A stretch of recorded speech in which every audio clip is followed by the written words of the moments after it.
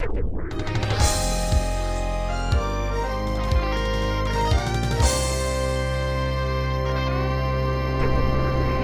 L'ultima edizione di Stadio News in studio Marco Gullà.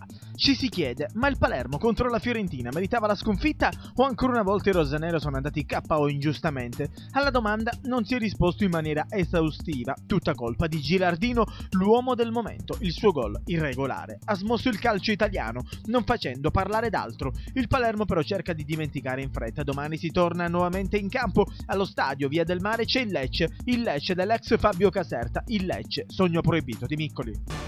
Domani sarà la sua gara, torna nella sua Lecce però per vincere, per far dimenticare le due sconfitte consecutive. Sentiamo Fabrizio Miccoli. Beh, è una partita un po' particolare, però, però va bene, bisogna andare, bisogna andare, a giocare e cercare di far bene, quello sicuro. Io ho sempre detto che se dovesse succedere di, di fare gol, l'unica squadra dove non esulterei mai è Lecce, è normale. È una partita che tutte e due le squadre cercheranno di, cercheranno di vincere, sarà una bella partita perché secondo me due squadre che giocano bene e alla fine poi io, quando sei in campo io devo cercare di, di dare il massimo per me e, e, per la squadra, per i miei compagni e per, il rispetto che ho da parte della società e di tutta la gente di Palermo.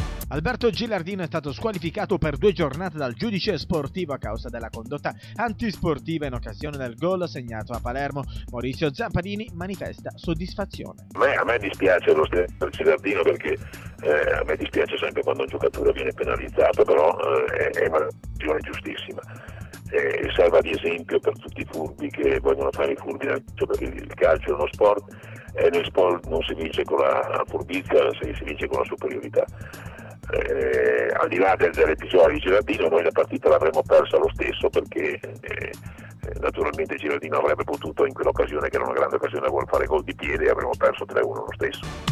Allenamento mattutino per il Palermo al Tenenza onorato in vista della gara di domani sera al Via del Mare contro il Lecce. Brutte notizie dall'infermeria per il tecnico rosanero Davide Pallardini che dovrà rinunciare agli infortunati Bovo, Michelisi e anche Amelia. Ritorna invece Morris Carrozzieri da valutare le condizioni di Paolo Della Fiore che nella giornata di ieri ha svolto lavoro differenziato. In porta quindi andrà Fontana al posto di Amelia. La difesa dovrebbe essere confermata in attacco invece alla coppia Cavani-Miccoli. Quella di domani sera allo stadio Via del Mare di Lecce sarà la prima gara del Palermo diretta dall'arbitro Dino Tommasi di Bassano del Grappa. Non ci sono precedenti ufficiali infatti tra il Rosanero e il Fischietto Veneto. Sono ben sei indisponibili in casa Lecce per la gara di domani contro il Palermo, mancheranno infatti gli infortunati Angelo, Petracchi e Zanchetta, oltre agli squalificati Ariatti, Fabiano e Tiripocchi. Lecce quindi in cerottato ma non in avanti dove ci sarà la coppia Castiglio-Cacia a supporto all'ex Rosanero Caserta.